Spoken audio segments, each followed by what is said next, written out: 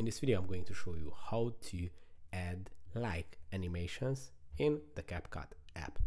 So basically it's pretty easy, there are lots of built-in free to use uh, animations in CapCut. You just have to open the app, open your project, then go to the top left corner of the screen where it says imports, then go to the third option which is stock materials, and here at the stock materials you can find lots of free to use copyright free stock videos. Some of them are free to use some of them are only for pro users but i'm sure that you will be able to find the ones that you would like to use uh, even for free. As you can see there are lots of like animations. These are all free to use and you can just add them to your videos very easily so that's it for this video. If it was helpful for you, please consider sending a super thanks donation and see you in the next one.